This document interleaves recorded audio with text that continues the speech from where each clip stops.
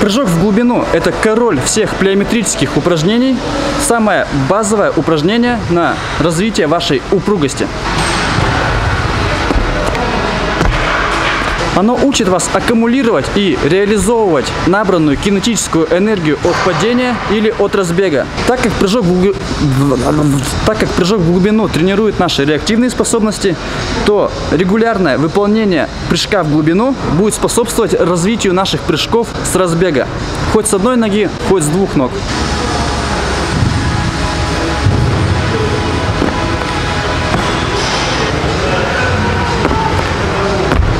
Для начала берем какое-то возвышение высотой 30-50 сантиметров. Самое главное, чтобы оно было устойчиво. Затем начинаем сшагивание с него. Приземляемся мы на переднюю часть стопы. На пятку не переходим. Не делаем на нее упор. То есть она коснуться может, но нагрузку на нее не переносим. Когда мы приземляемся на переднюю часть стопы, то вот эти упругие силы аккумулируются как в голеностопном суставе, как в коленном, так и в тазобедренном. Если же приземляемся на всю стопу, то тогда упругие силы в голеностопном суставе исчезают. А ведь именно упругая стопа – это самое важное во всех беговых и прыжковых дисциплинах. Стараемся просаживаться вниз до угла 45 градусов или чуть ниже.